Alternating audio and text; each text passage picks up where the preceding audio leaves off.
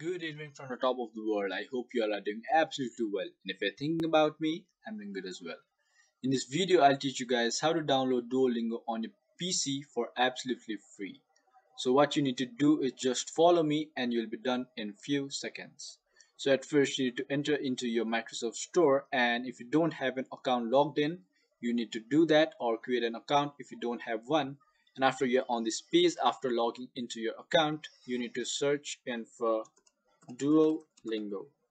So after you have searched you need to click on the official app which is this one with the logo of an white owl with a green background. So after you have reached this you just need to click on install and you'll be done. It will be installed in few seconds or might take a minute as well.